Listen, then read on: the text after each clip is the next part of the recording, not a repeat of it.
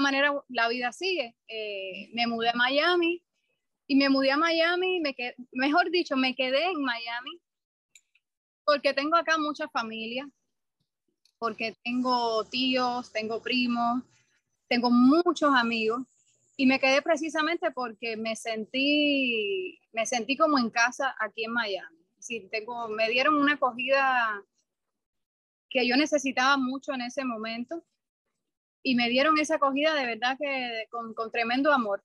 Entonces se hizo como muy fácil porque históricamente Miami tiene una casa muy grande para nosotros, ¿no?